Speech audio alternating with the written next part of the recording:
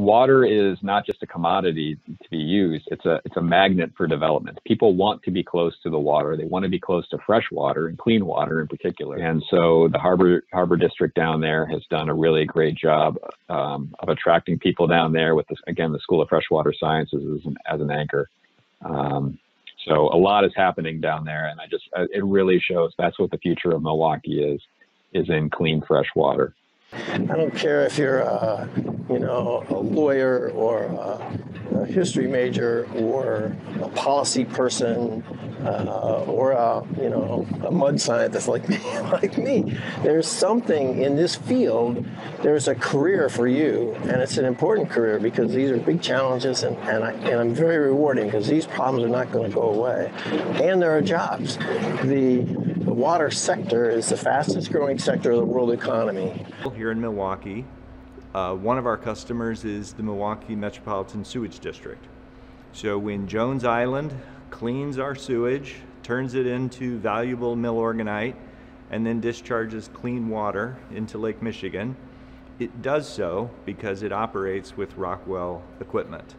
Um, in a similar vein, uh, the Milwaukee Water Works where we get our drinking water from, operates by utilizing Rockwell's technology, monitoring pipe pressure, intakes, safety, uh, measuring the quality and the quantity of the water is all done through Rockwell technology. My name is Wanisha Smith, and I came upon Reflo while working um, a summer internship with Milwaukee Metropolitan Sewage District. So I'm the administrative coordinator for, coordinator for Reflo, but I also help out in different areas, working with green schools, helping schools remove asphalt and incorporate more green space, um, outdoor education, and outreach and increasing knowledge about how green space can be used in schools.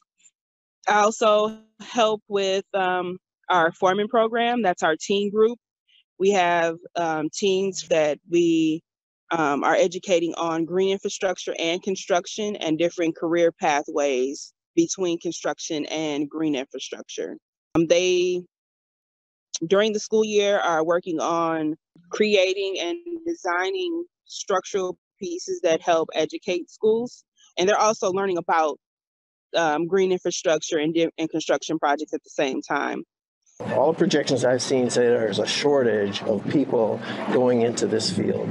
So not only is it, you know, an important and rewarding career, but there are jobs. And, and 97% of our graduates are working in the field. That means they're working in water and they're working across all different sectors, you know, from, you know, academic settings to environmental protection agencies to industry to consulting firms. So yeah, there's a real opportunity for here wherever you are on the political spectrum, private sector, public sector, I mean, I hope we all under, uh, appreciate inherently the value of, of, clean rivers and streams. And so uh, I, we hope to see water as a unifying force and a unifying vision, uh, not only in Milwaukee, but uh, throughout communities on, on the Great Lakes. And, you know, as, as we experience climate change in the future, and you know whole sections of the world are going to you know, maybe less inhabitable. You know, we we hope people come back to the Midwest, um, but when they do, we, you know, we have to be ready for that, and we have to have a, a really great water supply um, that's not degraded, but but we want to be restorative in how in our approach to the future. The Great Lakes regional economy is a six trillion dollar economy. You know, it's the third largest economy in the world. And so don't tell me we can't afford to do it. We can afford to do it. It just needs the will to do it. And I think I, am very encouraged. I see more and more people saying, yep, this is something that we should take care of. We should do. The Great Lakes Restoration Initiative is sort of the initial down payment on that. But my feeling is it should go from an initiative to a program. In other words, we shouldn't have to fight for this money every year. We should say, okay, we're going to do this program for the next 20, 30 years, whatever it takes, so that someday we can say, okay, we've restored the system. You're not going to turn back the clock. The Great Lakes are never going to look like they did, you know, 100 years ago. Those days are all gone. The ecosystem has changed. Everything has changed. Um, but we can make them so that we, you know, they're fishable, swimmable, drinkable. That's the standard. Uh, and that's what we're working on.